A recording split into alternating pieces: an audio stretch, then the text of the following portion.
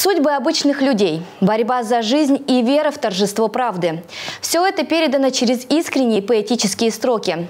В Архангельске прошел творческий вечер с автором из Донецка Анной Ревякиной.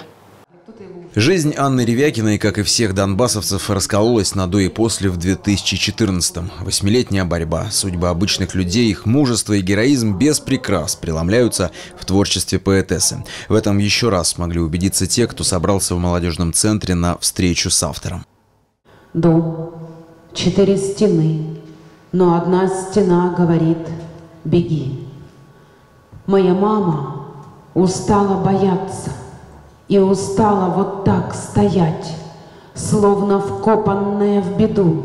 Участники встречи увидели и кадры из документального цикла «Лики Донбасса». Героями проекта стали волонтеры, врачи, писатели, священнослужители, молодые активисты и даже дети, не знавшие мирного неба над головой. И каждый выражает уверенность в том, что победа будет на стороне объединенных сил России, ДНР и ЛНР.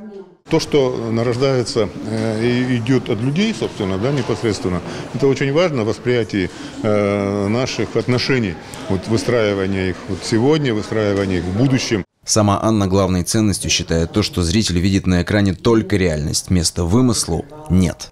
Я хочу сказать искренне спасибо за вашу искренность, за, за вашу готовность нести правду, истину людям.